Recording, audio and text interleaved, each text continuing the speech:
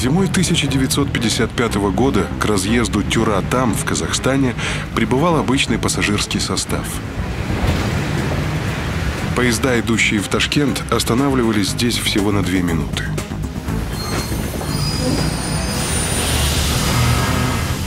Старший лейтенант Денежкин, вам была отправлена телеграмма. Начальнику станции Тюратам Анатолию Лебедеву.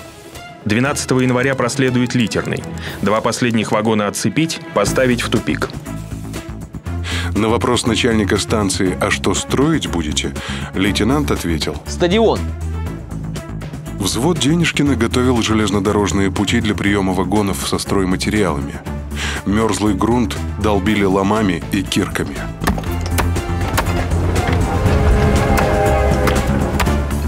А через неделю на станцию стали прибывать эшелоны с техникой и людьми. Метели у разъезда Тюратам бушевали весь январь и февраль.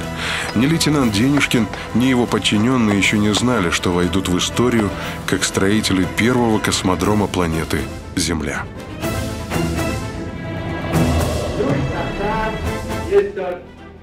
Протяжка один, продувка, продувка, ключ на дренаж, зажигание, предварительное.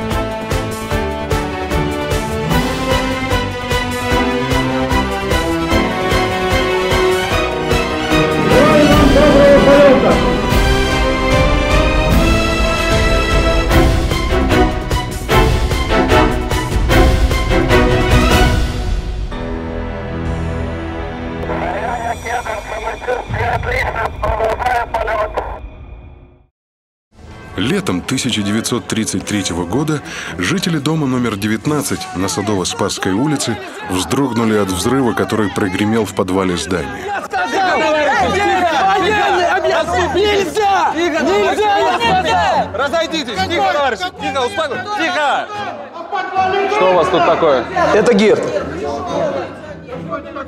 Разгромленный подвал являлся режимным объектом. Вход сюда строго воспрещен. Московская группа изучения реактивного движения, или сокращенно Мосгирт, уже два года занималась созданием ракет и ракетопланов, способных преодолеть первую космическую скорость. Товарищи, все хорошо, разберемся, успокойтесь, все хорошо. Весенним днем почтальон подошел к дому номер 16 на Георгиевской улице, который снимала семья местного учителя. Этот человек слыл в Калуге чудаком из-за своих странных идей. Константин Эдуардович дома? Да. Это вот книжечка пришла сызнова. Книга Александра Федорова называлась «Новый способ воздухоплавания, исключающий воздух как опорную среду». Получателем брошюры значился Константин Циолковский. Циолковский Константин Эдуардович. Выходец из польской дворянской семьи. В возрасте 9 лет заболел скарлатиной и потерял слух. Это сказалось на развитии ребенка, и он был отчислен из гимназии за неуспеваемость.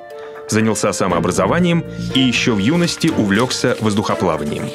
Циолковский с интересом прочитал книгу Федорова. Автор излагал принцип действия ракетолета, имеющего несколько двигателей. Одни служили для подъема, другие для движения в горизонтальном направлении, третьи выполняли роль реактивных рулей. Каждый двигатель состоял из генератора газа и трубы. Газ из трубы вырывался наружу, создавая реактивную тягу и толкал ракетолет вверх. Во времена Циолковского не было четкого представления о сути реактивного движения. Хотя этот принцип существовал и существует в природе. Так, самый крупный беспозвоночный обитатель океанских глубин, кальмар, передвигается именно по этому принципу. Он вбирает в себя воду, а затем с огромной силой выталкивает ее через особое отверстие – воронку, и двигается в сторону противоположную отбрасываемой воде со скоростью около 70 км в час. Также и ракета проталкивает через сопло газы, образующиеся при сгорании топлива, чтобы лететь в противоположную сторону. В своей работе Федоров не приводил никаких расчетов. Циолковский размышлял, рисовал ракету, которая не существовала. Он мысленно заправлял ее топливом, он видел пламя, рвущееся из ее сопла. Ракета преодолевает силу тяготения и, сжигая топливо, развивает скорость. Топливо сгорает, ракета становится легче. Какова зависимость между скоростью газов, вырывающихся из камеры сгорания, скоростью ракеты и ее массой и массой ее топлива? В далекой Калуге глухой школьный учитель без высшего образования закладывал фундамент космонавтики. И вот среди вычислений, рисунков и чертежей была записана формула, которая и сегодня используется при проектировании ракет. И по праву носит имя Циолковского. Именно эта формула доказала, что полеты к другим планетам возможны. Благодаря ей стало ясно и другое. Космос покорят только ракеты на жидком топливе. Принцип действия реактивного двигателя прост. Из одной емкости в камеру сгорания поступает горючее – жидкий водород, бензин, спирт. Из другой – окислитель – жидкий кислород, обеспечивающий горение – Смесь в камере поджигается, а продукты сгорания вылетают через сопло, толкая ракету вперед. Но реализация этого принципа — сложнейшая задача. Камера сгорания работает в условиях высоких температур, давлений и скоростей. Невероятно, но еще в начале века формула Циолковского позволила ему установить самое эффективное топливо для ракеты — жидкий водород — но водород превращается в жидкость лишь при температуре минус 254 градуса по Цельсию, и его очень трудно хранить. Окончательно эти проблемы не решены до сих пор.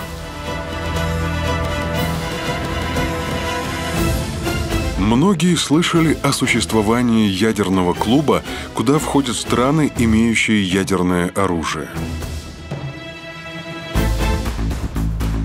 Но мало кто знает, что есть очень узкий клуб водородных держав, создавших водородно-кислородный двигатель. Первым членом этого символического клуба стали Соединенные Штаты Америки. На водороде американцы летали к Луне и использовали его как топливо в системе Space Shuttle. Вслед за американцами в клуб вступили европейцы, затем китайцы и японцы – к середине 80-х годов его членом стал Советский Союз с ракетой «Энергия».